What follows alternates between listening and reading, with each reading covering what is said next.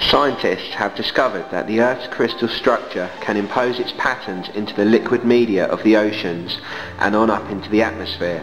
What the scientists will have to discover is the wisdom of the Atlantean technology of the standing column of wave and solitron energy fields.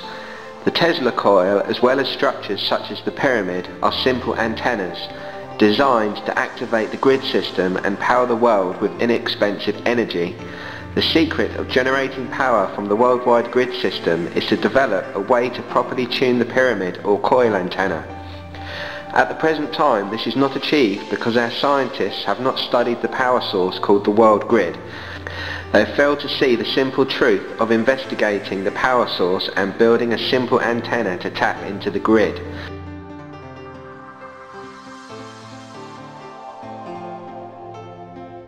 The ancient people used the grid to achieve levitation and worldwide communication. This is why pyramids are found all over the world. The Cheops pyramid in Egypt is a coil generator and was built to tap into the grid.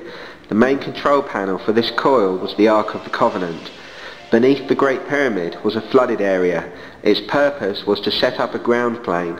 The primary coil was designed into the pit area and the secondary coil was developed between the pit and the king's chamber. The capstone was the discharge point, where the Tesla coil is designed in the same proportions as the coil that is built into the Great Pyramid. A solitron energy pattern is discharged from the capstone.